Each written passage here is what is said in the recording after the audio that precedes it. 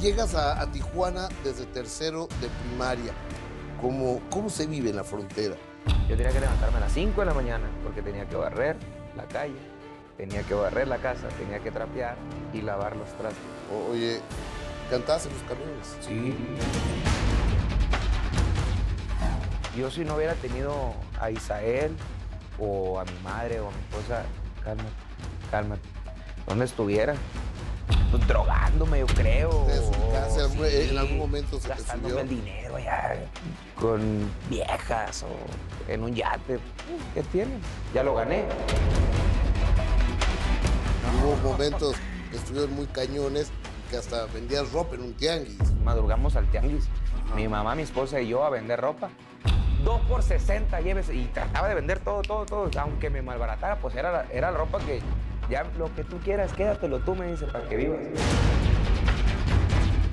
¿Cómo era la relación de, de Johnny y Edwin Cázares? No, nos llevábamos bien.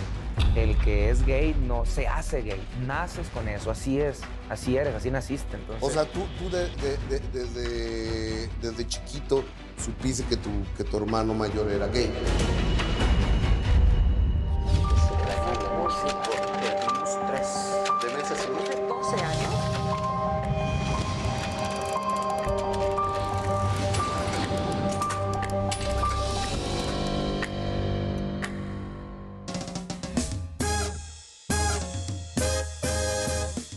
Noches, bienvenidos, bienvenidas. Gracias por hacernos el gran favor de acompañarnos en una emisión más de El Minuto que cambió mi destino. De manera respetuosa, cariñosa, los y las.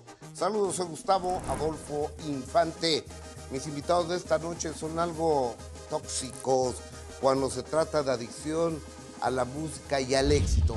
Con paso firme han avanzado en el medio en el que a algunos les toma muchos años conseguir los números que ellos en tan solo cinco años lo han logrado. Hablando claro, han logrado el amor soñado con su público y luego de un 2021 con el mundo a sus pies, se veía venir que lograrían el regreso espectacular a casa, a México. Solo un día les bastó para enloquecer a sus fieles e impacientes fans mexicanas que han agotado tres o cuatro fechas ya para verlos. Solo se vive una vez, así que tomes un tequila y hablemos de Grupo Firme. Edwin Castro, ¿cómo estás? Hola, hola, buenas noches. Oye, qué, qué bonitas palabras. Muchas gracias. Yo estaba con la boca abierta escuchando las can- el nombre de las canciones. Pues parte de, de- de lo que han trabajado ustedes, ¿no? Como, como Grupo Firme. Sí, gracias a Dios. Es, alguna bendición. Oye, Edwin, empezamos por el principio. Empezamos por Culiacán. Ok. Ahí naces. Ahí nací en Culiacán, Sinaloa. A los, mal no recuerdo, como a los ocho años ya estaba yo en Tijuana. Ok, son dos hermanos. Dos hermanos. Mi hermano Jonathan y un servidor. Johnny, Ajá. Jonathan, tú, únicamente dos hermanos. Eh, sí, y tengo otros, otros medios hermanos que viven ahí en Culiacán. Por parte ¿Hijos de, de mi papá. De Ajá. parte de mi papá, mi mamá. De, por parte de mi mamá nada más somos mi hermano y yo. Ajá. Y mi papá tiene otros hijos que también son muy apegados a nosotros, los queremos bastante. Tengo una hermana de 15 años que le fascina cantar. Ya tiene 17. A los 15 empezó a cantar Ok. y canta hermoso y vamos, vamos a ver qué sale con ella. Tu papá y tu mamá se divorcian y tú te vas a vivir con tu mamá, ustedes se van a vivir con tu mamá Sí. y tu padrastro, ¿no? Sí, así es. Sí, yo, yo recuerdo que como a los 10 años mi mamá ya estaba eh, juntándose con Eliseo, que es mi padrastro, que lo respeto mucho y lo quiero mucho. Y mm, de ahí empezó una larga vida en Tijuana. Ya no, regresé, no me regresé a Culiacán, quedé en Tijuana y ahí empecé. O- oye, pero ¿en qué momento te das cuenta que tienes facilidad para cantar? Porque a todos nos puede gustar cantar, pero si tú me escuchas cantar vas a darte cuenta que sería muy lamentable que yo siquiera pensase algún día en cantar, ¿no? Es que ni, ni yo sabía, Rey. Lo único, yo me acuerdo, tengo muchos recuerdos cuando estaba chiquito, muy chiquito. Yo pedía de Navidad a los tres años mm, un cassette, en- me tocaban los cassettes en ese entonces Sí. y las grabadoras, una grabadora y un cassette. Por un lado era el lado A y por el otro el lado B. Sí, sí, sí, Lo volteabas. Entonces, por un lado eran los Tucanes de Tijuana y por otro lado eran los Tigres del Norte. chulada. El fan número uno de los Tucanes y los Tigres, su servidor. Entonces, yo sopé de Navidad de chiquito y me sentaba, yo ponía, conectaba la grabadora y ponía mi cassette y cantaba. Y cantaba las canciones. El amor soñado andaba en, esas, en esos tiempos. Había otra. Viejas agradecida significa Viagra y la de los Tigres del Norte. El carro ya se paró. De canciones viejísimas. O- oye, qué, qué- qué grandes figuras, ¿no? Los Sí. tigres, los tucanes. ¿A quién más? ¿Quién más te gusta de, Pues, de eh, esa primera ep- época de tu vida? Cuando estaba chiquito eran, eran los Tucanes y, y los Tigres del Norte.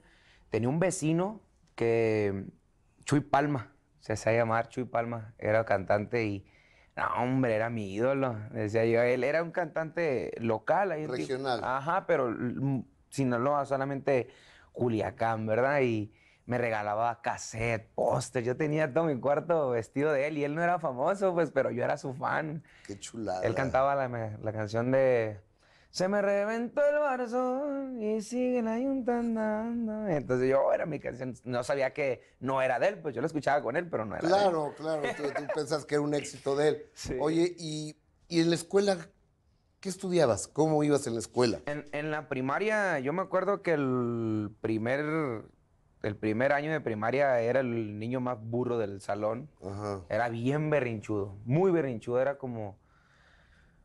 Ah, me enojaba. Y, y era muy explosivo. Así era. Y la maestra decía: En, en paz descanse, le mando un saludo en donde esté. Mm, Me ayudó bastante.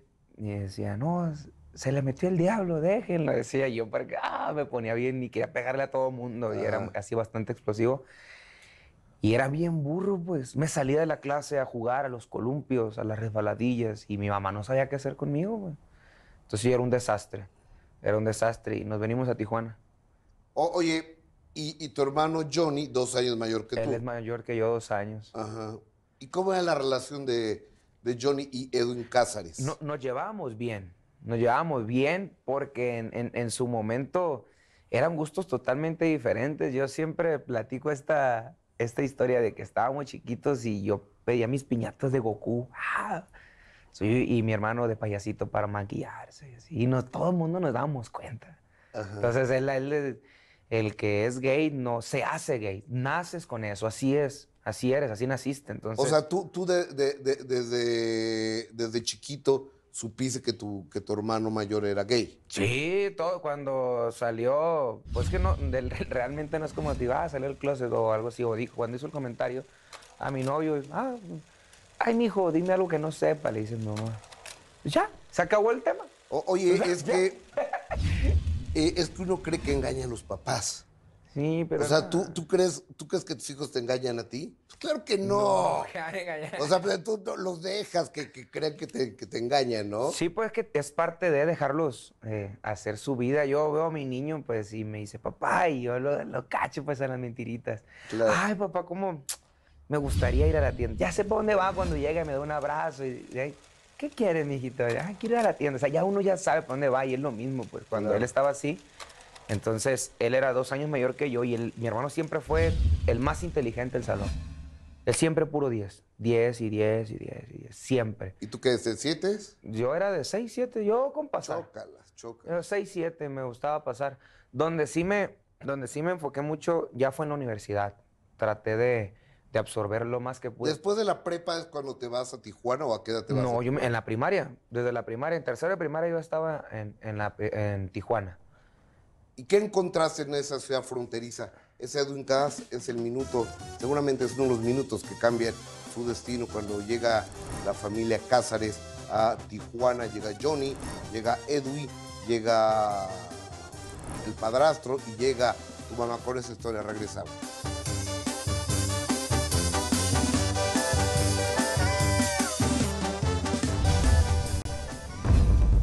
Yo tenía que levantarme a las 5 de la mañana porque tenía que barrer la calle, tenía que barrer la casa, tenía que trapear y lavar los trastes. Y si un día no lo hacíamos porque realmente cansaba, Claro, me supongo, y, y más siendo chavito, ¿no? Sí, decía yo, pues esto no es vida.